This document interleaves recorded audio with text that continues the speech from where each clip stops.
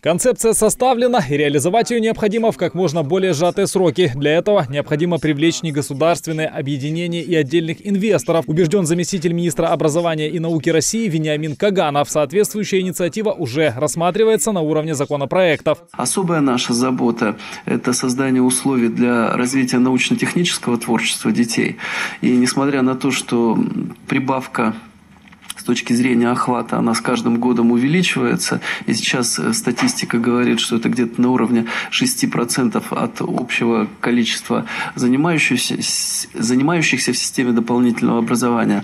Но, тем не менее, э, это недостаточно. И наша задача сделать так, чтобы качественные программы были, они заинтересовали детей. И чтобы к 2018 году, ну, через три года создать условия, чтобы эта цифра удвоилась. Среди первопроходцев реализации пунктов программы «Пермь». Там дошкольным образованием активно занимаются с середины 2000-х. В городе уже давно научились учитывать потребности каждого ребенка в индивидуальном порядке. Однако значительно позже нашли оптимальный способ распределения по принципу «каждому ребенку по кружку в год». Исключение лишь для инвалидов. Мы э, внедрили систему э, персонифицированного учета.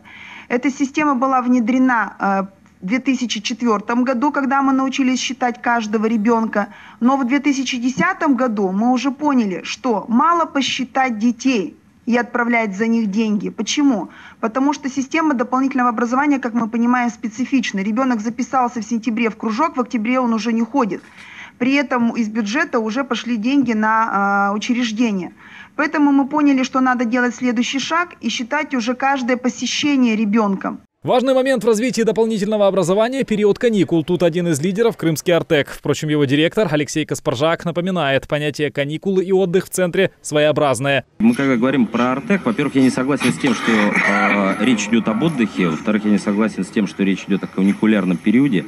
Мы работаем круглогодично и Думаю, что в этом есть залог и перспектива там, успеха некоторого. Э, успеха не только для крупного центра, такого как Артек, но и для центров вообще, которые занимаются дополнительным образованием. Мне кажется, что в этом документе и в контексте его обсуждения нам стоит говорить о следующем. Как с помощью системы дополнительного образования развивать образовательную систему Российской Федерации.